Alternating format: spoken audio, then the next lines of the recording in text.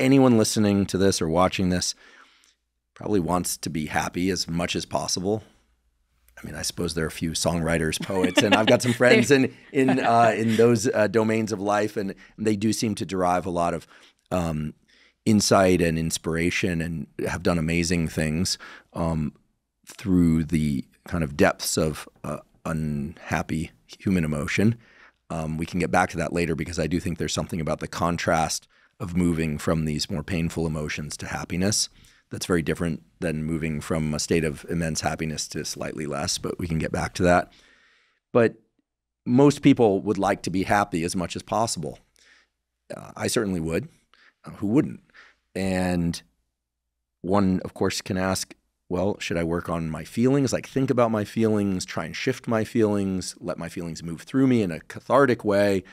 Um, should I work on the thought patterns? Should I work on the behaviors? I'm a big believer from from my own experience that behaviors are powerful in setting the general trajectory of thought patterns and feelings. But I've also experienced it going the other way too. So, what does the research say about this, and what what can we do? Because everyone wants to be happier. Yeah. Well, we just talked about the thing you're not supposed to do. You don't have to change your circumstances, and that's great because like quintupling your income is tricky. You know, moving is tricky. You know, switching your life around all over the place is hard, right? And the good news is the science shows you don't have to do that. That doesn't work as well as you think. But you can hack your behaviors and your thought patterns and your feelings to get some good results, right? Let's let's take behaviors, right? One of the biggest behavioral changes you can make to feel happier is just to get a little bit more social connection. Like psychologists do these fun studies where they look at people's like daily usage patterns. So how much time are you spending sleeping or exercising or at work or whatever? And the two things that predict whether or not you're happy or not so happy is how much time you spend with friends and family members and how much time you're just physically around other people. Like the more of that you do, the happier you're going to be. Um, and you know that's just a correlation, right? So your savvy listeners are thinking right now, like, well, is it that hanging around with other people causes you to be happier, or do you tend to like hang out with other people more if you are happy? Like, which direction does the causal arrow go? And here we have these lovely studies by psychologists who do these kind of funny experiments where they offer people like a $10 Starbucks gift card to just talk to somebody. Um, usually talk to a stranger like that they don't know on the train. some lovely work by Nick Epley and others have done this. Because you force people to get social. And what people predict, especially with strangers, is like, ooh, that's going to feel awkward and kind of weird. But what you find across the board, and this includes in introverts and extroverts, is that talking to somebody actually feels good. It increases your positive emotion. It gives you a sense that your life is going better. You feel less lonely. It just has these positive outcomes that we don't expect. I love social connection. The problem I have with social connection is that if I drop in with somebody for you know, 30 minutes or a couple of hours. When that's done, I usually have so much that I need to tend to that I end up staying up later than I need to in order to complete that, diminishing my sleep. And then I feel like there's a underlying kind of like sinking ship sense to my physiology. And then I have to recover my sleep. So it, you know, everything's a trade off. Yeah. Yeah. Um, what's interesting about the study you just mentioned is that it's just a brief coffee, presumably. So yeah. maybe one doesn't need to spend quite as much time um, with people. But I think, uh, you know, I think like even years ago, actually, he's dead now, but there was a, a I guess it's okay to say it, even though he's dead. He, he was a somewhat uh, eccentric mm, professor mm, yeah. at UC Berkeley. I took a class from him when I was a graduate student there named Seth Roberts. He's known for some kind of bizarre theories about eating. And oh, yeah, yeah. if people want to look this up, I mean, like really, really kind of different stuff. But I, I applaud his bravery and just, uh, you know, being out there. But he was an eccentric guy. And he told us in this class when I was there that that it was very important to see faces mm. um, at least once a day, mm-hmm. real faces, mm-hmm. not mm-hmm. on a mm-hmm. screen. Yep. This was before social media, but yep. um, and that it was important at some point to leave your apartment and and that, like see the barista and say hello and thank you and say, see people on the street and.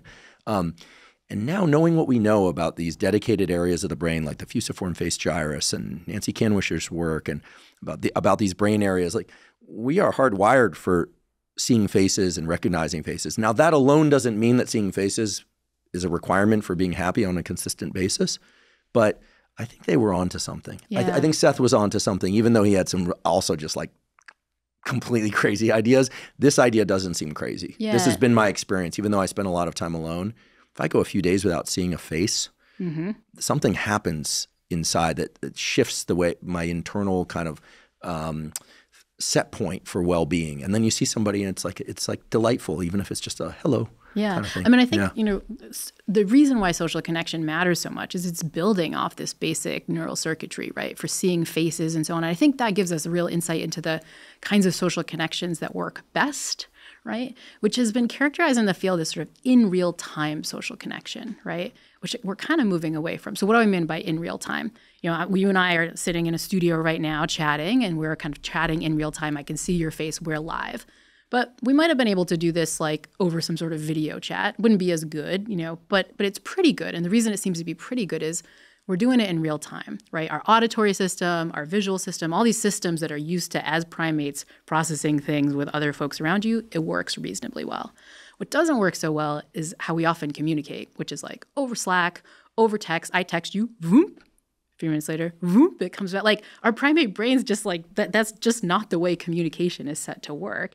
And so I think sometimes when I bring up social connection, people think like, oh, I got to see people in person and my friend's going to live far away and I'm like at work all day.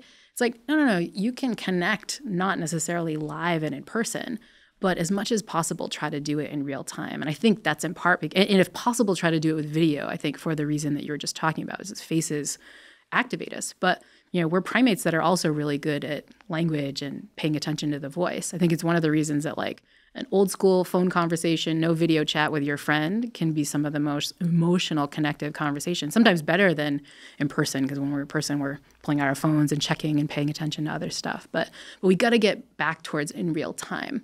The other stuff just doesn't have the same uh, psychological oomph.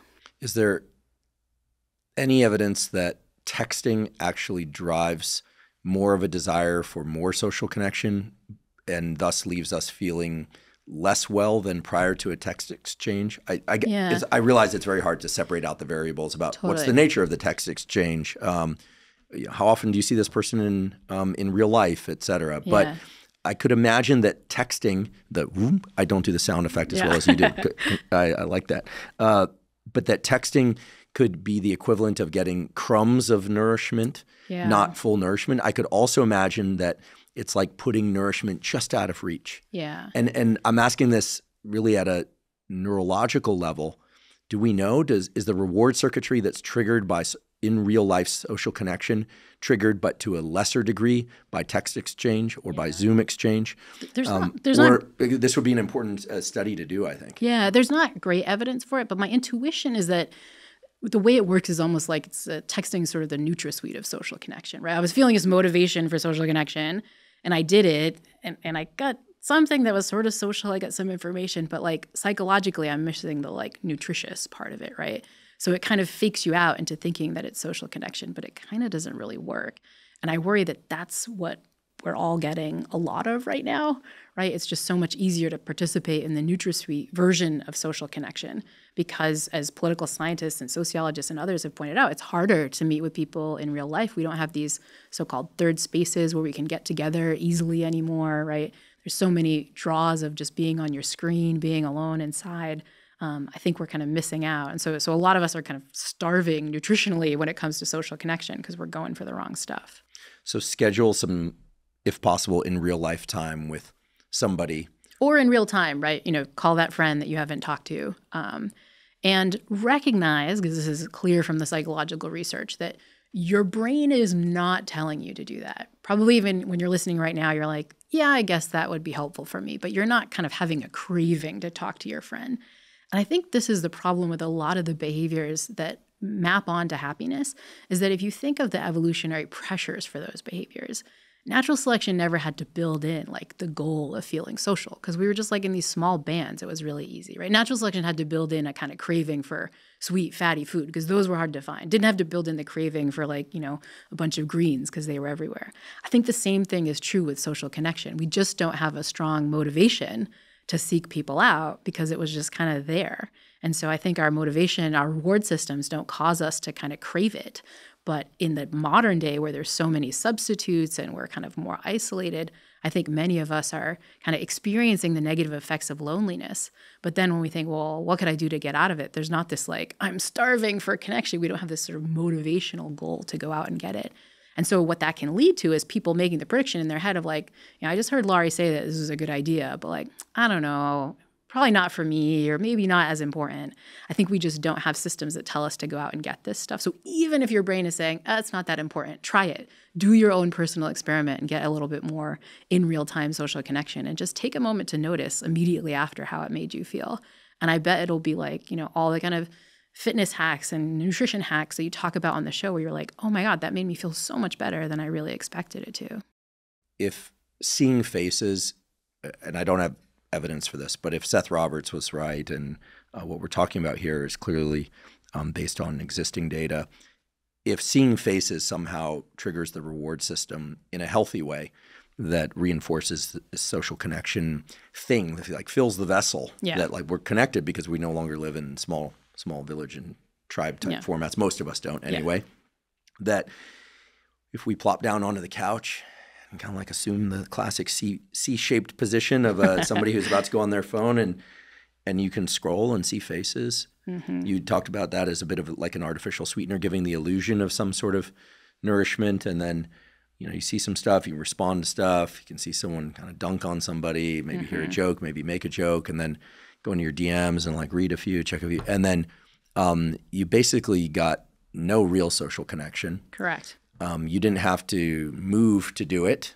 Um, and in a lot of ways, this has parallels to the ease of um, highly processed foods or something yeah. like that. Yeah. And I think we're starting to understand this a bit through Jonathan Haidt's work and other people's work, uh, including your own. But I don't know that it's anything but really dangerous and bad. I don't want to sound yeah. alarmist, but I, I, am really concerned that um, certainly for the younger generation, but that if we don't have an intrinsic drive to go do something, we stop doing it. We stop doing it. And then the brain is pretty plastic throughout the entire life, especially for these low grade, m- like many times repeated behaviors. I mean, we can just mm-hmm. slowly that you know it's like a dri- there's drift, and then we wonder why we don't feel so good. Yeah. I mean, you know how the dopamine system works, right? Like it has these mechanisms to crave stuff that's quick, quick hits, right? Our instant, you know, when we go on Reddit or go on Instagram and scroll through a feed, we're getting these kind of quick hits. Another thing that is rewarding is new information. You know, your Stanford colleague Jamil Zaki has done these lovely neuroscience studies that just finding out some interesting social information feels rewarding. And kind of for the first time, we've been able to separate the reward value that comes from interacting with live human people and faces and social rewarding information that comes at us quickly at this dopamine hit that we crave a lot, but we don't have the craving mechanisms for the in real life connection.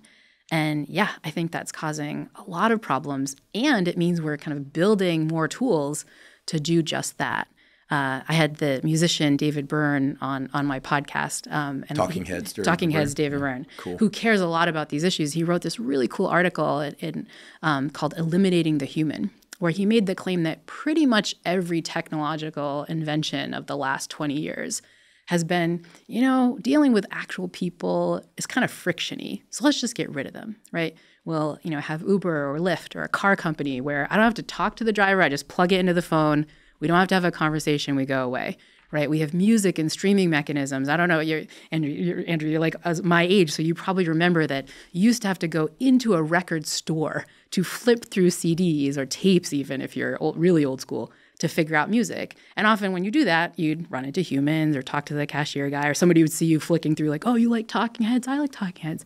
Now we just go to an algorithm, right?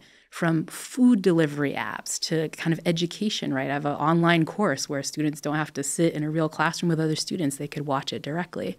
So many of our technological innovations are assuming that what we want to get rid of is the friction part. That's what we're kind of motivated to get rid of.